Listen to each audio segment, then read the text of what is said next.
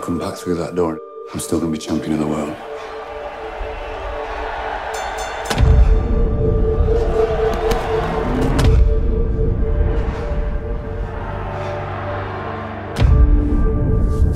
I love you.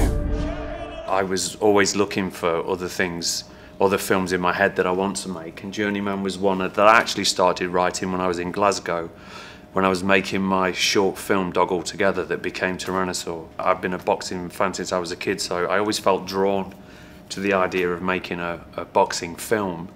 But if I was going to make one, I didn't want it to be about those archetypal kind of themes. You know, I wanted it to to have some different kind of resonance to it, and I didn't want to play those those kind of the same notes that a lot of boxing films do. And having been a boxing fan and seen many different boxing tragedies over the years, I just thought, well, if I'm going to tell a boxing story, at least it's about a, di- a new kind of territory, you know.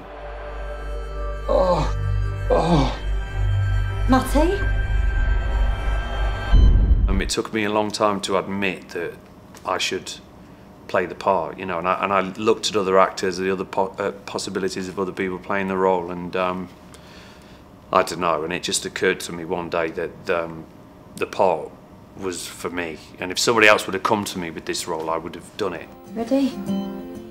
Let's get you home. Who is it? That is your little girl. It's Mia. Mia. Do you understand? No?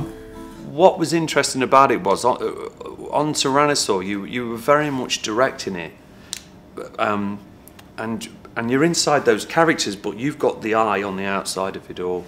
With this, I was in the middle of the experience as the, the lead character, effectively. You know, there might have been a few things that I missed by not being able to step back, but also I think there was a lot of great things that came from being inside it. So you just got to, to live with the choices that you made. But it was very interesting creating a film when you're the lead character and you're the one plotting your way through it, you know. Who are you fighting? Future.